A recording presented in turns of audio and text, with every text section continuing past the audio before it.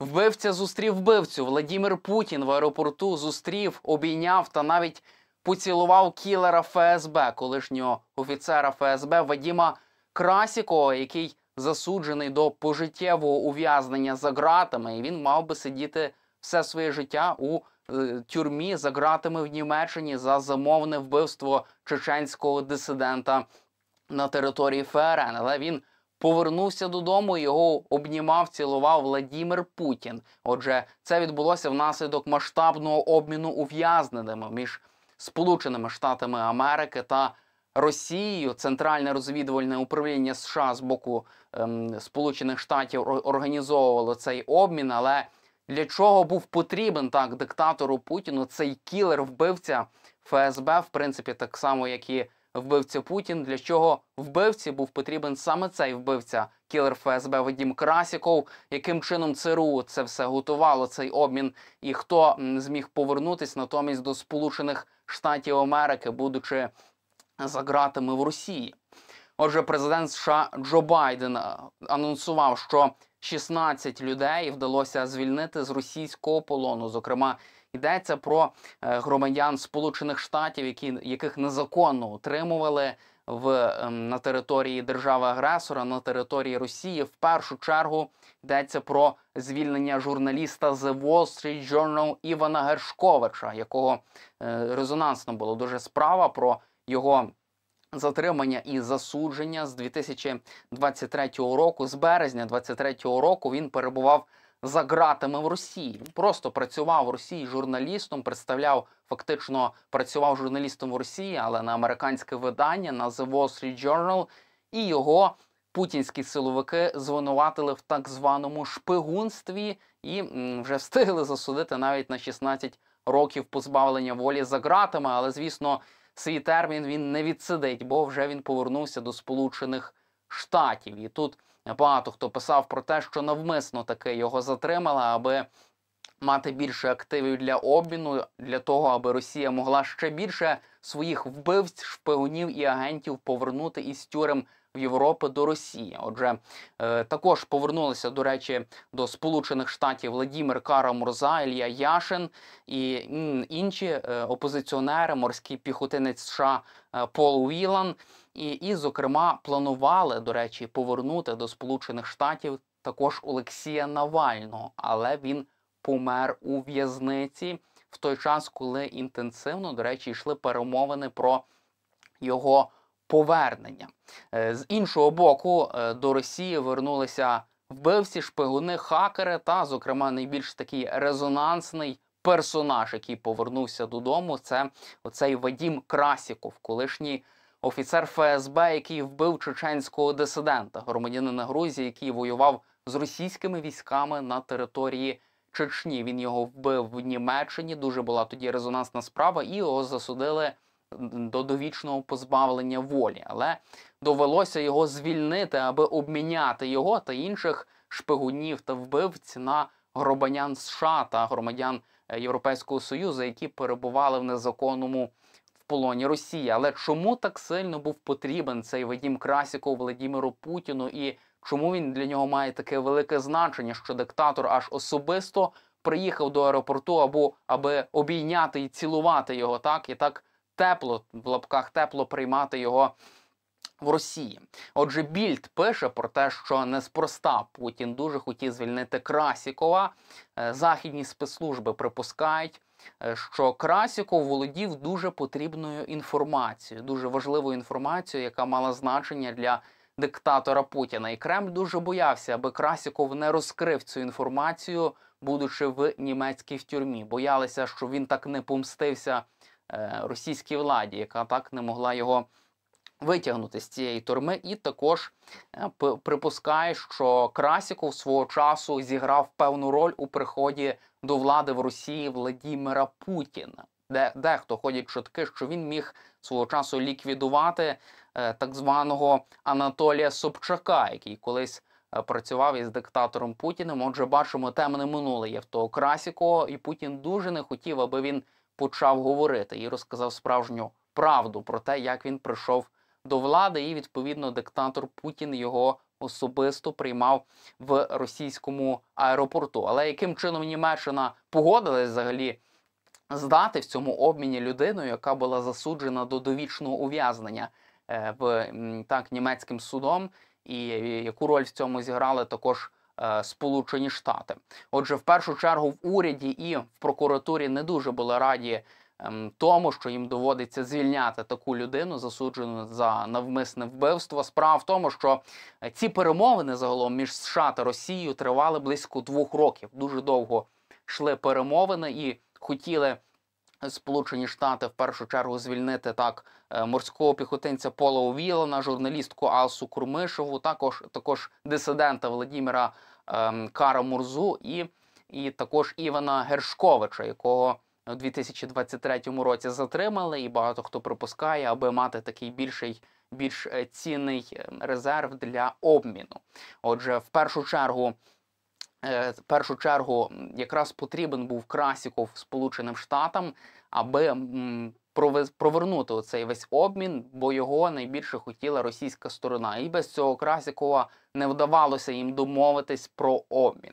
Отже, президент США Джо Байден особисто попросив канцлера Німеччини Олафа Шольца сприяти цьому обміну і е, випустити так на волю, обміняти Вадіма Красікова. Прокурори слідство виступили проти цього, були дуже незадоволені, бо людина фактично засуджена до довічного позбавлення волі і мала би провести решту свого життя за ґратами.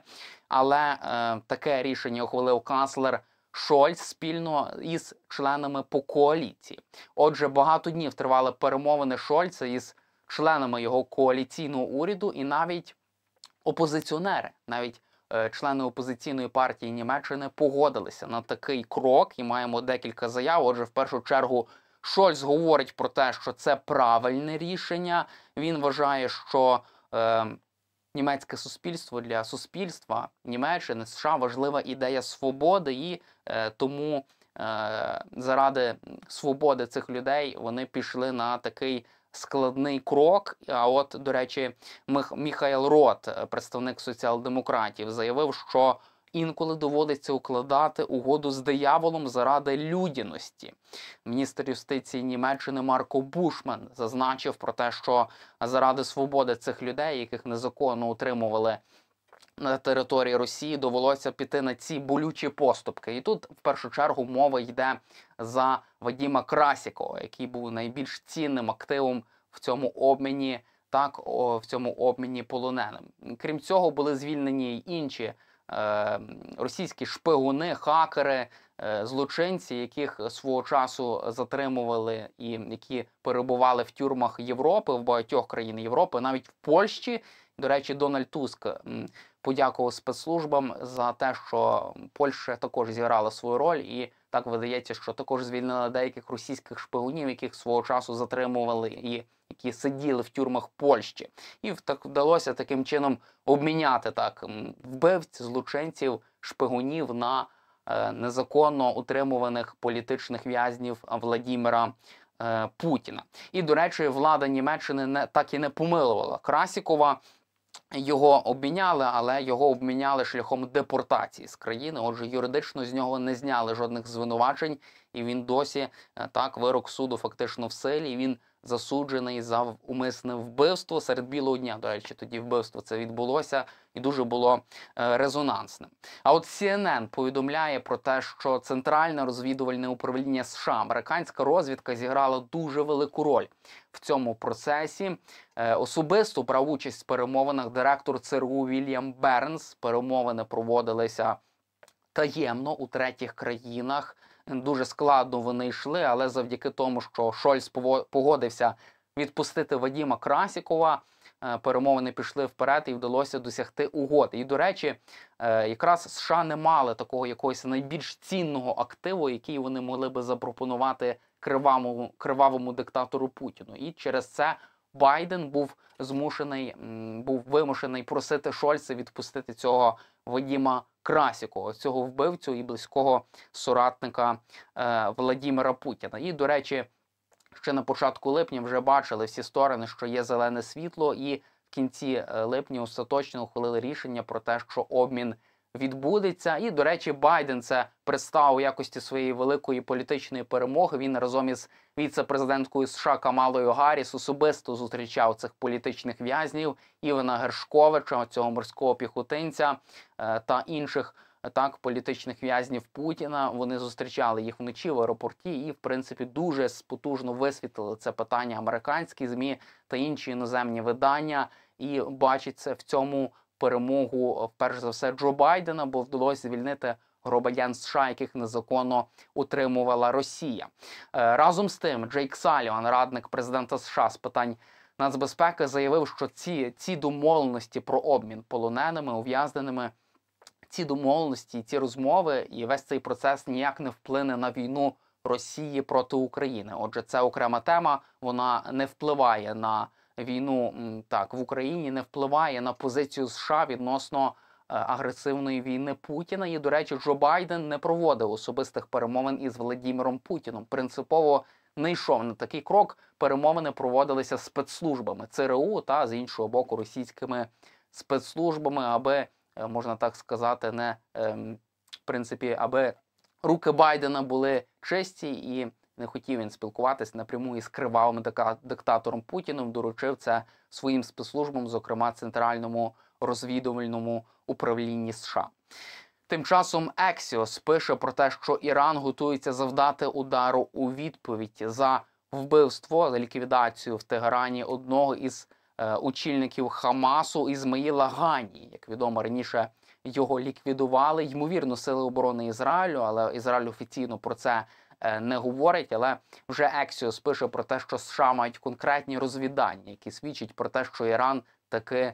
е, Буде відбудеться такий удар Ірану у відповідь. Отже, в першу чергу в Білому домі очікують масованого повітряного удару Ірану по Ізраїлю, і вже США готуються до цього удару. Вже перевели у підвищену готовність свої сили, збільшили присутність в цьому регіоні на близькому сході. Очікується, що у разі так такого е, масованого удару з боку Ірану США знову ж таки е, допоможуть Ізраїлю закрити своє небо і навіть залучать до цього союзників. Можливо, це буде нелегко, говорять, пишуть в статті CNN, але залучають до цього е, союзників і готуються до удару так з боку Ірану. В Ізраїлі натомість говорять про те, що готові до будь-якого сценарію розвитку подій, готові до оборони своєї країни. І зараз фактично другою такою топ-темою в західних змі є те, як і коли, як і яким чином Іран відповість е, ударом по Ізраїлю, як Іран відповість на цей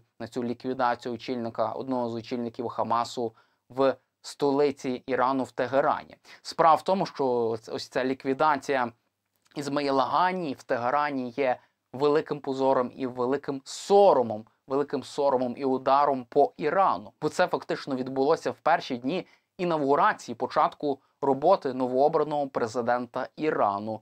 І е, також говорять про те, що Іран е, великий сором це для Ірану, бо Іран не зміг забезпечити безпеку для одного з своїх союзників, очільника е, політичного крила Хамасу. Тому це велике приниження, сором для Ірану, і Тегеран готується до відповіді, якою, коли воно буде, і які будуть її наслідки, будемо далі аналізувати в наших про- програмах. На цьому у мене все. Вірте в наші збройні сили. Слава Україні!